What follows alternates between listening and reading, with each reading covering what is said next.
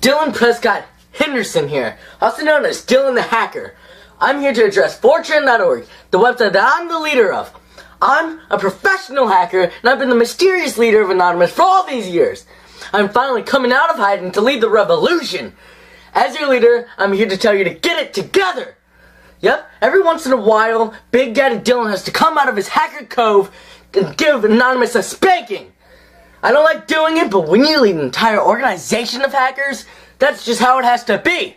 There's no time for mercy. Now this is your warning 4chan. You now want to cross a professional hacker.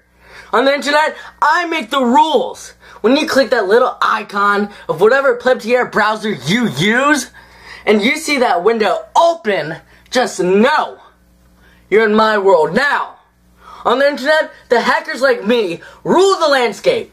The quicker you learn that, the longer you get to live. I am Dylan the Hacker.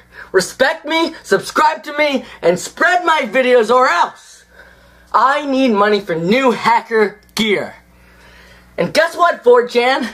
You're going to hand delivered to me whether you like it or not.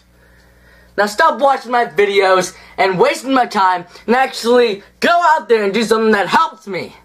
And 4chan, from here on out, consider yourself grounded. Big Daddy Dylan had to dish out a punishment, it looks like. I'm coming for you next, Moot. This is only the beginning.